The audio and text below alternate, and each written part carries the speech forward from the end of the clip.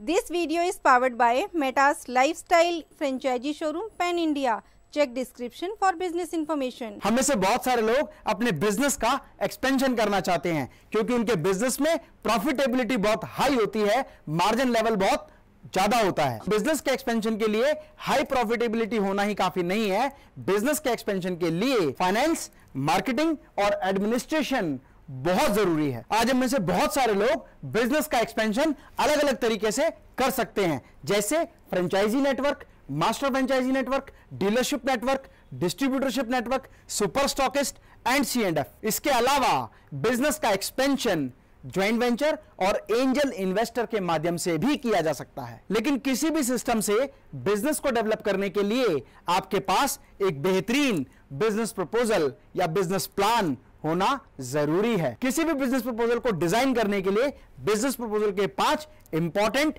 Elements होते हैं। और बिज़नेस के पाँच इंपॉर्टेंट एलिमेंट्स हैं कंपनी का profile level of investment level of profitability break even point and ROI return on investment और इसके साथ साथ सबसे महत्वपूर्ण चीज़ है कंपनी की तरफ़ से प्रोवाइड की जाने वाली सपोर्ट एंड सर्विसेज़ और यदि हम इन सभी चीज़ों को बहुत बेहतरीन तरीके से डिफाइन कर पाए तो कंपनी का बेहतर बिज़नेस प्रपोजल तैयार होता है। अगर मैं किसी भी इन्वेस्टर के साथ अपनी कंपनी का फ्रेंचाइजी प्रपोजल शेयर करता हूँ तो सबसे पहला क्वेश्चन होगा what is the profile of the company उस कंपनी की पूरी एक्सप्लेनेशन कि कंपनी का नाम क्या है, इसकी स्थापना कब हुई, कंपनी का विजन क्या है, कंपनी का टर्नओवर क्या है, कंपनी का टारगेट क्या है, कंपनी के ऑब्जेक्टिव क्या है, और किस तरह से हम अपने विजन को अचीव करेंगे। लेवल ऑफ़ इन्वेस्टमेंट अगर कोई व्यक्ति उस कंपनी के साथ फ्रेंचाइजी डीलर डिस्ट्रीब्यूटर इन्वेस्टर के रूप में काम करता है तो लेवल ऑफ़ इन्वेस्टमेंट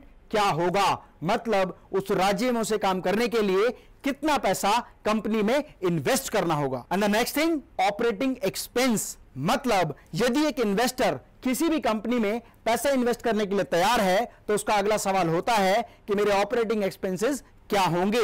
मतलब पर मंथ उस कंपनी के उस यूनिट को, चाहे वो फ्रेंचाइजी हो, डीलर हो, या डिस्ट्रीब्यूटर हो, उस जोन में चलाने के लिए कितने रुपए पर मंथ ऑपरेटिंग एक्सपेंस के रूप में खर्च करने होंगे? And the operating expense stand for rent electricity staff salary administration expense miscellaneous expenses. And the next important question is profitability. And the profitability stands for उस बिज़नेस को स्टार्ट करने के बाद कितने समय में वो अपना प्रॉफिट जनरेट करना शुरू कर देगा?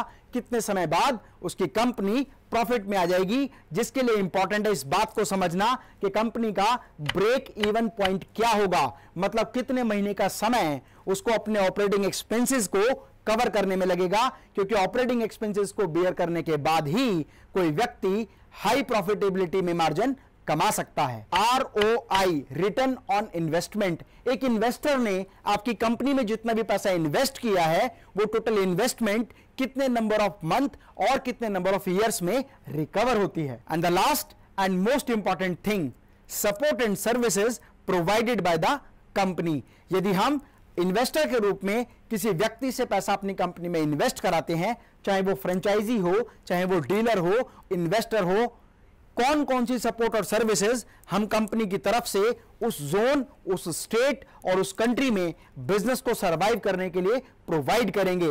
Like advertisement support marketing support administration support इन पाँचों इंपॉर्टेंट मॉड्यूल्स को इकट्ठा करने के बाद जो प्रपोजल तैयार होता है, उसी के बिहार पर एक इन्वेस्टर आपकी कंपनी में इन्वेस्ट करने के लिए तैयार होता है। फ्रेंड्स आप लोगों की हेल्प के लिए मेटास क्लब के बिज़नेस चैनल पे हमने बहुत सारी इंफॉर्मेटिव ट्रेनिंग वीडियो शेयर की है। आप ये लाइब्रेरी देखें जो वीडियो आपको पसंद आता है, उससे सीखें, समझें और अपने बिज़नेस में इंप्लीमेंट करें। और यदि आप भी मेरे ट्रेनिंग प्रोग्राम में एज ए गेस्ट आना चाहते हैं तो कमेंट बॉक्स में अपना कमेंट अवश्य लिखें। आपके सुनहरे भविष्य की कामना करता हूँ। जय हिंद, जय भारत।